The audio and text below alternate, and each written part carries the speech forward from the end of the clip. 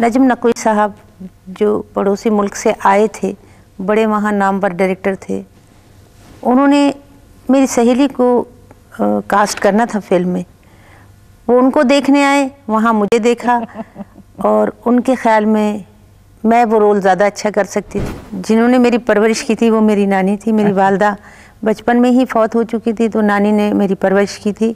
उन्होंने हिम्मत छोड़ दी थी दो फ़िल्मों के बाद उन्होंने कहा बेटा अब बस तुम्हारी नसीब में शायद हिट फ़िल्म नहीं है तो आप इस लाइन को खैर बात कह दें कि पहले दिन जब मेरा टेस्ट हुआ, मैं स्टूडियो में गई। वहाँ का माहौल मेरे लिए बिल्कुल नया था। उससे पहले ना कभी मैंने कोई शूटिंग देखी थी, ना ये लाइट्स वगैरह जो रोशन होती हैं। मुझे बड़ी सेटिस्फेक्शन मिलती है कि मैं किसी भी आर्टिस्ट को बताती रहती हूँ सेट पे कि ऐसे नहीं करें, ऐसे करें, ऐसे चलें, ऐसे उठें। उसमें पूरा आपको एक्टिंग की हेल्प चाहिए होती है। शमी महाराज से मेरी ये पहली और आखिरी मुलाकात थी। उन्हें हम ट्रेजिडी क्वीन के नाम से जानते थे। जितनी भी फ़िल्में उन्होंने की, जहाँ तक मुझे याद है, मैंने उन्हें मुस्कुराते या हँसते नहीं देखा। बस वो कुछ मजलूम ही कैरेक्टर रहता था। लेकिन उनकी दो मशहूर फ़िल्में मैंने कई दफ़ा देखी। नायला, जो सबसे पहली हमारी कलर्ड फ़िल्म थी, और लाखों में एक। लाखों में एक की क्या बात थी? उसकी मौसीकी की क्या बात थी? और उसी फ़िल्म ने मुस्तफ़ा कुरैशी साहब को भी लॉन्च किया। और एक सीन मुझे उसमें याद है, जिसमें शमी मारा ने सफ़ेद साड़ी पहनी हुई है, कहीं पहाड़ों पे शूट हुआ हुआ है और धुआँ पीछे से उठ रहा है। It was so beautiful so beautiful Shami मारा वी मिस यू ये बताइएगा कि मैंने आमतौर पे सुना है कि जी हम फ़िल्म लाइन में इस तरह आए कि कोई डायरेक्टर हमारा वाकिफ़ था वो घर आया ऐसे हो गया। कोई ज़िक्र करता है कि जी हम सेट पे गए देखने के लिए तो उन्होंने कहा जी आप क्यों नहीं एक्टिंग तो क्या आपके साथ भी इसी किस्म का कोई हादसा पेश आया था जब पहली दफ़ा आपको ऑफ़र हुई फ़िल्म की या? थोड़ा सा मुख्तलिफ़ है। अच्छा। है वैसे कोई मिलता जुलता अच्छा। कि एक मेरी सहेली थी उनके घर में गई हुई थी। तो नजम नकवी साहब जो पड़ोसी मुल्क से आए थे बड़े वहाँ नामवर डायरेक्टर थे। उन्होंने मेरी सहेली को आ, कास्ट करना था फ़िल्म में। वो उनको देखने आए वहाँ मुझे देखा और उनके ख्याल में मैं वो रोल ज़्यादा अच्छा कर सकती थी और मेरा चेहरा या कद उनके लिए ज़्यादा मौजूद था सूट करता था कैरेक्टर के हिसाब से। तो नजम नकवी साहब ने मुझे पहली दफ़ा फ़िल्म कुआरी बेवा में लिया और उसके बाद से ये सिलसिला शुरू हुआ। उस सहेली से लड़ाई तो नहीं होगी? नहीं सहेली ने, तो। ने बहुत वो बेचारी मायूस हुई और मगर नसीब के आगे क्या कर सकते क्या कर सकते जिसके नसीब में लिखा होता है उसी को मिलता है। बिल्कुल सही। तो कमारी बे, बेवा आपकी पहली फ़िल्म थी। जी जी। और कैसी गई वो? बॉक्स ऑफ़िस पे तो मायूस कन थी। ओहो। मगर ये कि मेरी ज़िंदगी बन गई वो फ़िल्म फ्लॉप हो गई मगर मुझे आगे चांस मिलता गया और सहेली जो फ़िल्म रिलीज़ हुई वो फ़िल्म कामयाब हुई। सहेली से पहले एक दो फ़िल्में और भी बनी मेरी मगर वो बॉक्स ऑफ़िस पे कामयाब नहीं। और जब तक कि बॉक्स ऑफ़िस पे फ़िल्म हिट ना हो उस वक्त तक आप समझिए कि हीरोइन का फ्यूचर बिल्कुल डार्क है। बिल्कुल सही बिल्कुल सही। हाँ। ये बताइए कि वही वाली बात आपकी कि आमतौर पे जब फ़िल्में अगर हिट ना हो तो फिर आगे चांस भी नहीं मिलता। ये तो और फिर या तो आदमी दिल बर्दाश्त होकर बैठ जाता है हम्म। या फिर ये कि कोशिश करता रहता है। तो आपने ये नहीं सोचा कि छोड़ो यार क्या मुसीबत है? नहीं मैंने नहीं सोचा। जिन्होंने मेरी परवरिश की थी वो मेरी नानी थी मेरी अच्छा। वालदा। बचपन में ही फौत हो चुकी थी तो नानी ने मेरी परवरिश की थी। उन्होंने हिम्मत छोड़ दी थी दो फ़िल्मों के बाद उन्होंने कहा बेटा अब बस तुम्हारी नसीब में शायद हिट फ़िल्म नहीं है तो आप इस लाइन को खैर बात कह दें। मैंने कहा अब ये नहीं हो सकता अब ये मसला हो गया ज़िद का। और मैं जब तक एक फ़िल्म हिट नहीं हो जाएगी जब तक मैं फ़िल्म इंडस्ट्री में ही रहूँगी। अच्छा। और अल्लाह का शुक्र है कि वो सहेली एस एम यूसुफ साहब की फ़िल्म बहुत बॉक्स ऑफ़िस पे कामयाब हुई और उससे फिर मुझे आगे तरक्की की राहें खुल गई। खुल गई और आप चलती गई आगे। जी। आसानी से आपने कह दिया कि उन्होंने मुझे सिलेक्ट किया और मैं फिर फ़िल्मों में आ गई। फ़िल्मों में आना कोई इतना आसान है नहीं। घर वाले मान गए मानते नहीं आमतौर पे। कुछ फ़िल्मों के साथ कुछ ज़रा सा जी। घर वाले इसलिए मान गए कि घर वालों ने देखा कि मेरा भी इंटरेस्ट है। तो और मेरी नानी कोई मेरी जिद या कोई मेरी खुशी को रद्द नहीं करती नहीं करती थी। जो मैं कहूँ वो कहती थी ठीक है। तो इसलिए मुझे इस लाइन में आने का मौका मिल गया। और अल्लाह ताला ने अभी तक काफ़ी कामयाबी बख्शी है जिनके लिए मैं जितना भी शुक्र अदा करूँ कम है। काम है ये बताइए। पहला दिन पहला शॉट कुछ याद है? बात तो पुरानी बिल्कुल याद है ये तो ऐसे ही याद है जैसे अभी हुआ हो। हर चीज़ याद है कि पहले दिन जब मेरा टेस्ट हुआ मैं स्टूडियो में गई।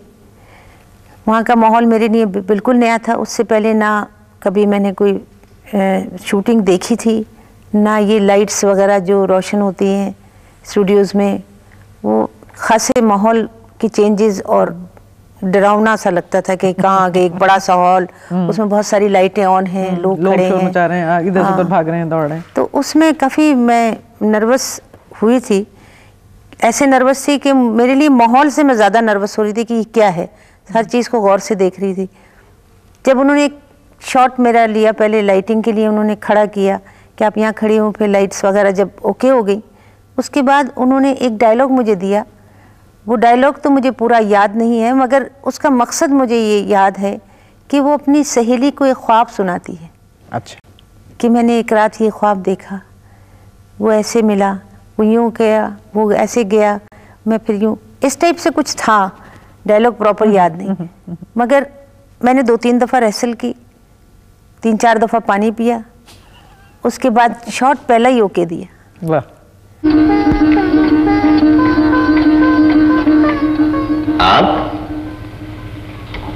जी। जी? शटअप नहीं? वो तो आपकी ये वर्दी पहनने से पहले की बात थी। सुनिए आप उन वाकयात को भुला नहीं सकते। जी नहीं। उन वाकयात को भुलाने के लिए आपको भुलाना पड़ेगा और ये मुझे मंजूर नहीं। क्यों? वाह साहब उसे भुला दूँ जिसके लिए ये वर्दी पहनी है। मुझे अफसोस है। मुझे खुशी है। इस वर्दी की? जी इस बात की कि मुझे इस वर्दी में देखकर किसी का अफसोस तो हुआ और किसी का अफसोस कब होता है ये आप जानती हैं? मैं तो नहीं जानती। आप ये भी नहीं जानती कि शमा कब पिघलती है? कब पिघलती है? जब परवाने को जलता नहीं देख सकती। है ठीक है ना?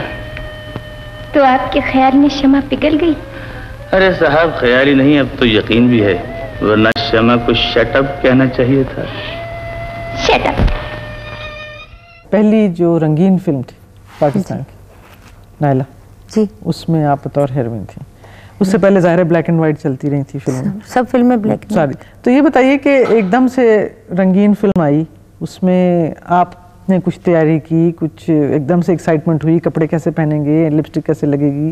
पहले तो जो। मर्ज़ी चला लो कोई हाँ वो तो सब या ब्लैक आना या वाइट आना ब्लैक एंड वाइट जो मगर जब कलर फ़िल्म का हुआ तो हमारे लिए तो ये बहुत ही खुशी की बात थी कि हर कपड़ा जिस रंग का पहनेंगे वही नज़र आएगा और मेकअप भी अच्छा लिपस्टिकें भी। और मेरे लिए आगा जी गुल साहब ने इत्तेफाक ये हुआ कि जब नायला की शूटिंग स्टार्ट होने वाली थी तो एक फेस्टिवल में हम लोग गए थे इंडोनेशिया। अच्छा। वहाँ से वापसी में वो हॉलीवुड से होते हुए आए तो मैक्स फैक्टर कंपनी ले गए मुझे मेकअप कराने के। इसलिए कि माशाल्लाह मेरा रंग भी काफ़ी सफ़ेद है। तो मतलब ये वो कहने लगे उनको ये डर था कि गंदुमी रंग है सांवला रंग जो है स्क्रीन पे कैसे आएगा? मगर जब वो मैक्स फैक्ट्री पहुँचे तो वो मायूस हुए और मैं बहुत खुश हुई। उसकी वजह ये थी कि उन्होंने कहा इसका कलर तो बेस्ट कलर है फ़िल्म के लिए कलर फ़िल्म के लिए। ये कलर ज़्यादा अच्छा आता है बिल्कुल गोरा अच्छा नहीं इतना लगता मगर थोड़ा सा हम भी डार्क करते हैं इसको मेकअप से। तो ये टोन ठीक है आप इतना इनके लिए वरीड ना हो। वो खास खासे आगा साहब कहते थे तुम्हारे भाई काली हो इसलिए अब कलर फ़िल्म में कैसे आओगे? तो अल्लाह का शुक्र हम ठीक आए कलर फ़िल्म ठीक है तो कुछ याद है आपको कि नायला की जब शूटिंग्स हो रही थी या कपड़ों के बारे में कोई मुझे एक दफ़ा याद है आपने कहीं ज़िक्र किया था कि यानी घोड़े की हर दुनिया का हर रंग लगा दिया था शायद? हाँ जी उसको मल्टी कलर कर दिया था। एक उसका रेड था येलो था ग्रीन था ब्लू था जामुनी था हर कलर था उसमें। वो एक घोड़े की स्टिक थी जो दर्पण साहब के हाथ में होती है। मरहूम के तो घोड़े को उन्होंने चाबुक मार दे। तो वो इतना शौक था कि हर चीज़ रंगीन हो कि चाबुक तक पे पेंट कर दिया। ये बताइए कि एक्टिंग तक तो चलें ठीक है लेकिन हमारी फ़िल्मों में माशाल्लाह गाने भी बहुत होते हैं। तो गानों को पिक्चराइज करना खुद पे मतलब हम सिर्फ़ अभी फ़िलहाल एज एन एक्ट्रेस बात कर रहे हैं। जी। तो वो भी तो एक फन होता है उसको सीखना उसकी टाइमिंग म्यूज़िक की।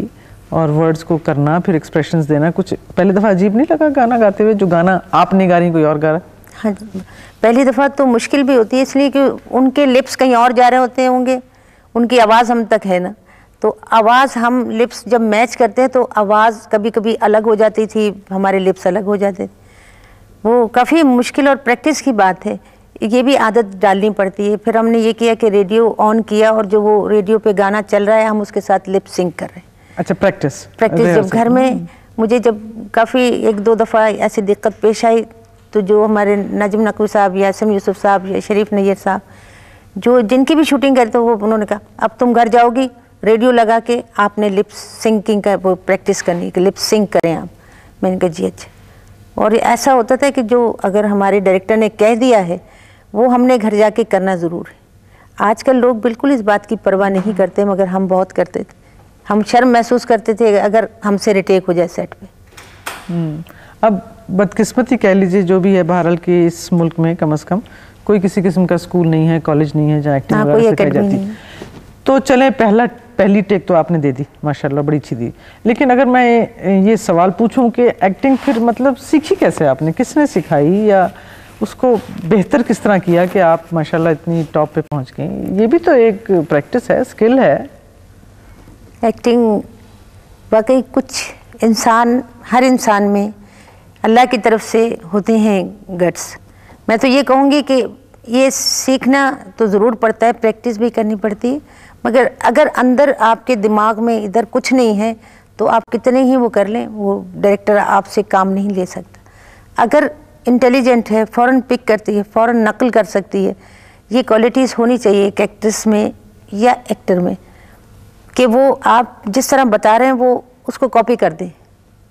और वो एक एक चीज़ याद रखे कि यहाँ ये डायलॉग है और इसमें यहाँ पॉज देना है हमने और यहाँ हमने जल्दी बोल जाना है, यहाँ हमने गिराना है, फ़िक्रे को यहाँ उठाना है। वो एक एक चीज़ फ़िक्रे के साथ साथ आपको ये सारी वेरिएशन भी याद करनी पड़ती। और इसके लिए इसका होना बहुत ज़रूरी है।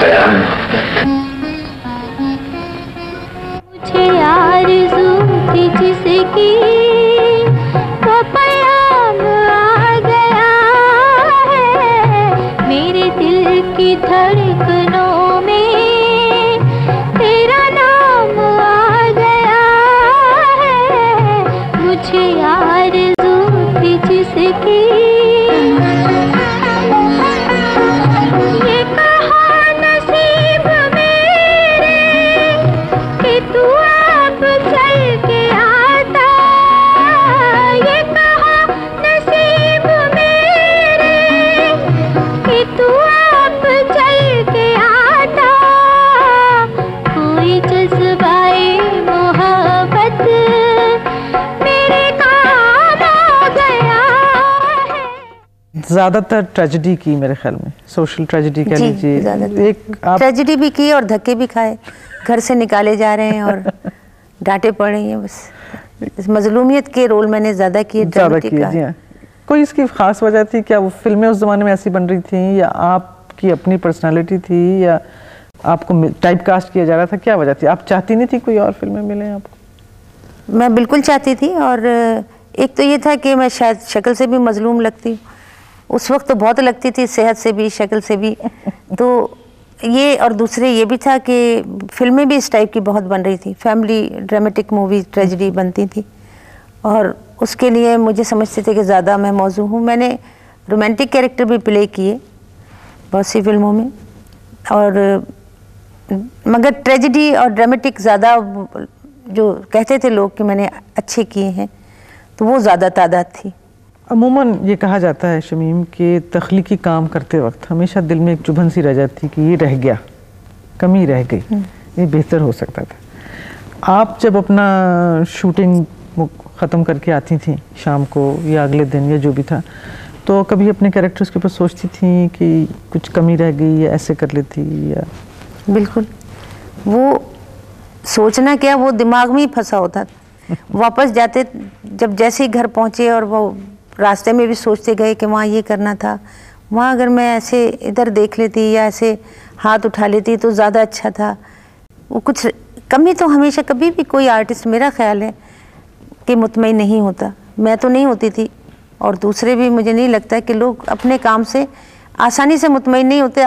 कभी ऐसा होता है once in the blue moon के कोई ऐसा शॉट होता है, हम कहते हैं हाँ ये, इससे अच्छा शायद हम नहीं दे सकते। मगर वैसे ज़्यादातर ये होता था कि अगर दोबारा लें आप तो हम इससे अच्छा शॉट देंगे।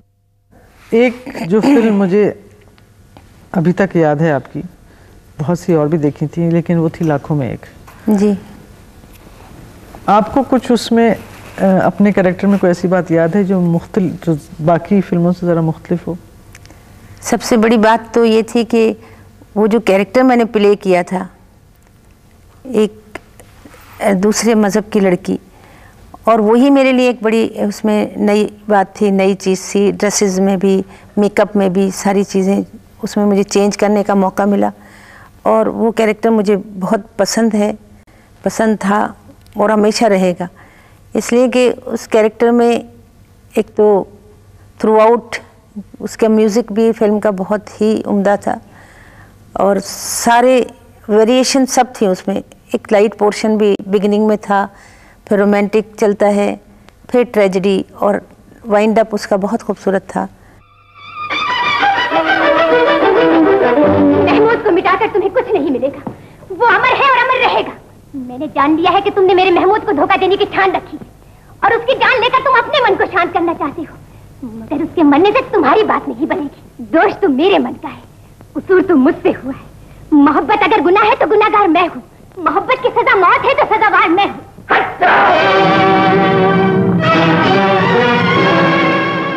एक्टिंग तो चल, आपने कहा कि जिस तरह की कुछ खुद सीखा, कुछ सेट पे सीखा ये वो। उसके बाद फिर आप प्रोडक्शन में तो आई, लेकिन डायरेक्शन में भी आई।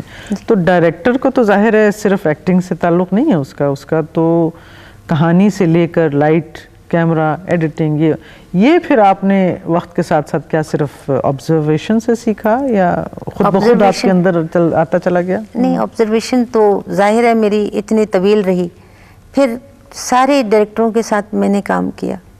और काम में मैं जितना अपनी एक्टिंग की तरफ़ तवज्जो देती थी उससे ज़्यादा मैं ये भी देख रही होती थी कि ये सेट पे क्या हो रहा है और क्यों हो रहा है। जब मैं बैठी होती थी फारिग वक्त में मैं सिर्फ़ ये ऑब्ज़र्व करती रहती थी कि ये लेंस कैमरे में चेंज किया है तो क्यों किया है?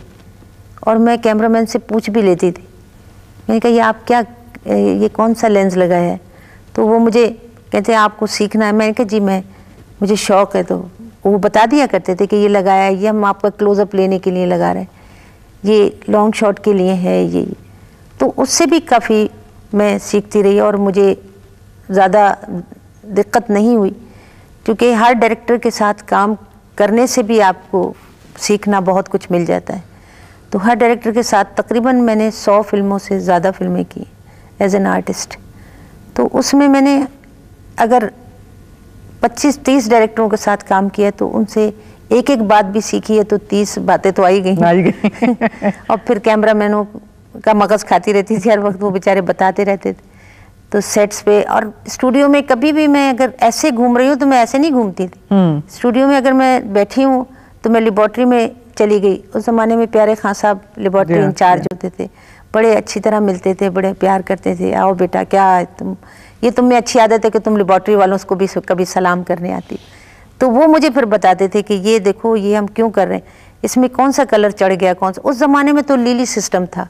हम्म। मतलब कलर करेक्शन अब तो कंप्यूटराइज लैब हो गई हैं। जी जी। मगर उस ज़माने में कलर करेक्शन करते थे एक एक वो फ़िल्टर डालते ग्रीन निकाल लिया येलो डाला वो उसको कम करना है रेड को कम करना है। तो वो भी मैं उनसे कभी कभी सीखती थी। फिर आपका चलें एज डायरेक्टर आपकी नया करियर का एक नया करियर आपने लॉन्च किया। तो एक दिन आप कैमरे की उस तरफ़ थी। जी। फिर अगले दिन आप कैमरे की इस तरफ़ थी। तो कुछ फ़र्क नज़र आया आपको उस आँख से जब आप देख रही थी उस लेंस की आँख से पीछे देख रहे अब बहुत फ़र्क नज़र आया।